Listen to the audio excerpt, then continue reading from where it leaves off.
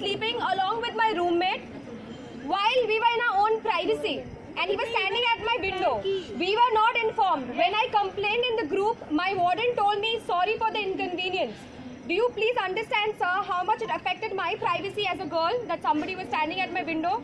If you try to take out some solution right now, it's not going to help. What has happened has happened. What if it took a picture of me while I was sleeping? Can you take any action?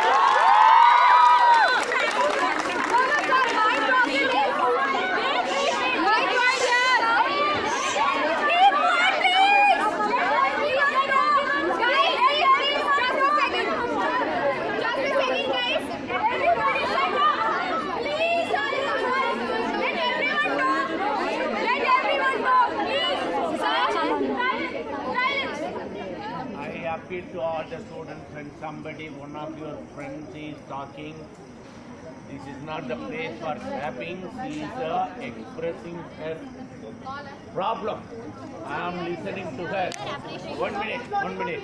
Now, you can tell me the name or you have any idea about the person?